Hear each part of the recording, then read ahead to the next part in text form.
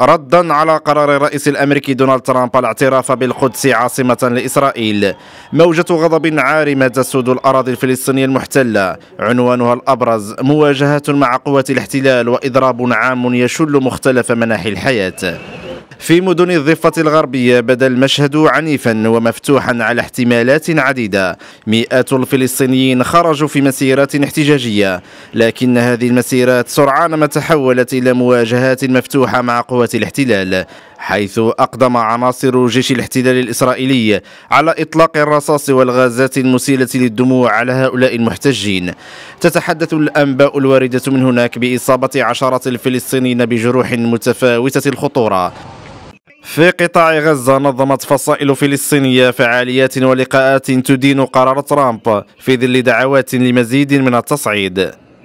تخرج هذه الجماهير والفصائل الوطنية والإسلامية لتعبر عن غضبها العارم اتجاه القرار المزمع أخذه من ترامب والإدارة الأمريكية تجاه القدس. لنقول إن هذا القرار يمثل عدوانا على الشعب على الأمة على المقدسات على القيم والمبادئ ويمثل تحديا خطيرا. ونحذر الإدارة الأمريكية من غبى اتخاذ هذا القرار. في مدينة القدس المحتلة نظم مئات الفلسطينيين وقفات احتجاجية. وقفات أكد خلالها المشاركون إدانتهم لقرار الرئيس الأمريكي دونالد ترامب معبرين عن رفضهم القاطع المساس بوضعية القدس.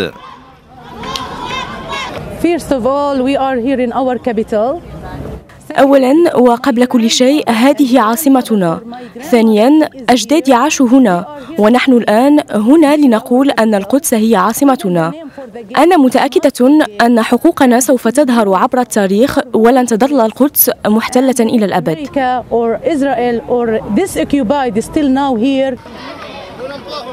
في غضون أجواء التوتر التي تطبع مختلف الأراضي الفلسطينية المحتلة تسود مخاوف من اندلاع أعمال عنف بعد صلاة الجمعة.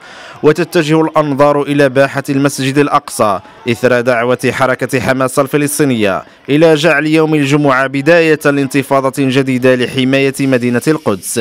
تزامنا مع دعوات التصعيد نشر جيش الاحتلال الإسرائيلي تعزيزات أمنية كبيرة تحسبا لمواجهات محتملة.